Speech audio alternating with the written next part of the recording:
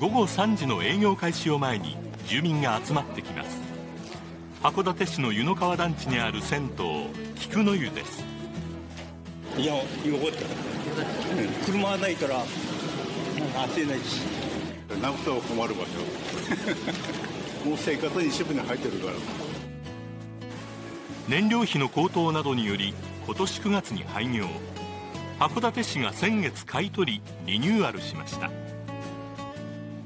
お客さんも嬉しいかもしれんけど俺も嬉しいよ。安心です。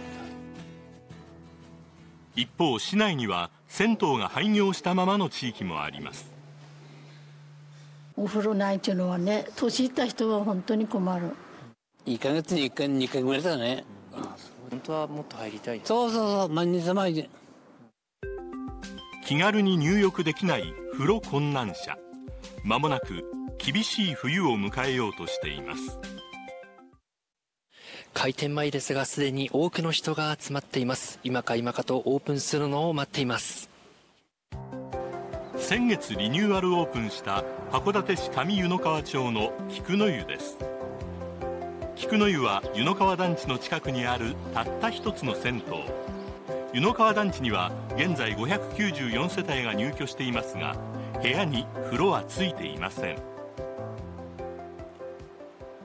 ついてないです僕がなくなったらやっぱり私足も腰も悪いもんですから。去年菊の湯は燃料費の高騰などで店主の松倉重直さんが閉店を考えていました。油代がね前に言ったけど5月までで120万の赤字だったんですよ。ずっと続けたいなと思うんだけどなかなか難しいですよ地域でたった一つの銭湯がなくなれば入浴に苦労する風呂困難者が出てしまいます。やっぱりね慣れたとこだからねここしかないからね。燃料費の高騰はその後も続き松倉さんは今年9月廃業せざるを得ませんでした。その菊の湯を先月函館市が買い取ったのです50年間続いた銭湯がなくなるということで、まあ、団地の皆様もやっぱりその、まあ、入浴難民になるということがありましたのでうちの方で購入してやることになりました。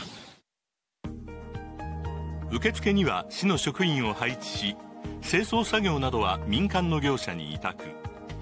番台を撤去して券売機を置き脱衣所の前に休憩スペースを設けるなどリニューアルにおよそ1000万円をかけました。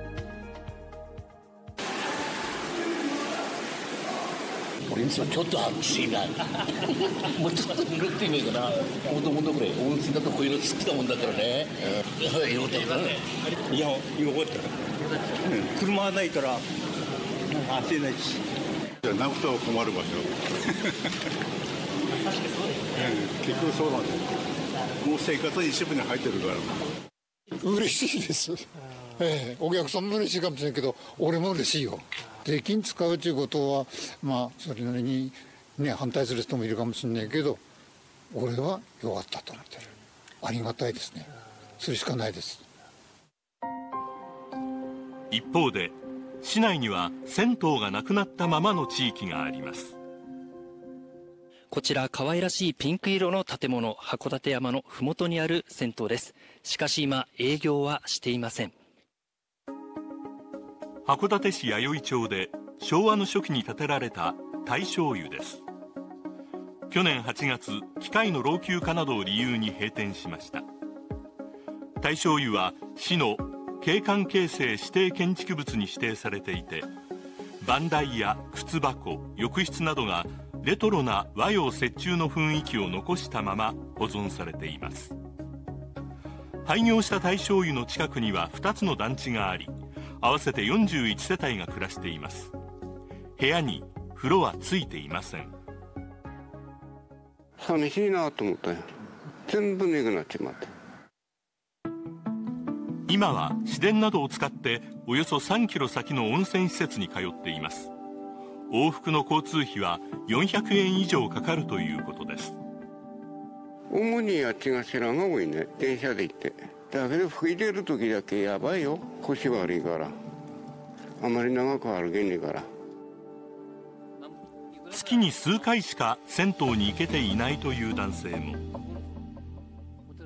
向こうの方はまあ自分の生活もしたけどもこっちはもう死の方で全然ね手返してくれないってばいかにそれほど不便な人がいるいるがなん今の市長なんてバカってるのかな、俺は市長に一票入れた方だからすごく差別あるなと思ってさ、ねこっちも何とかしてほしい。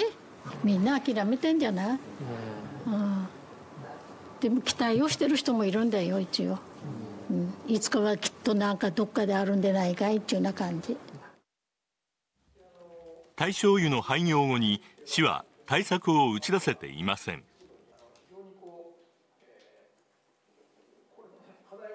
大正湯付近の方もそうですし他にもですねあの入浴難民というそういったケースというのは出てきていると思います。今すぐですね何か具体的なあの策を例えば大正湯付近あるいはその他のエリアにねあの予算をつけて講じていくということではないんですけれどもきめ細かくね、えー、聞き取りをするなりねあのしていきたいなと思います。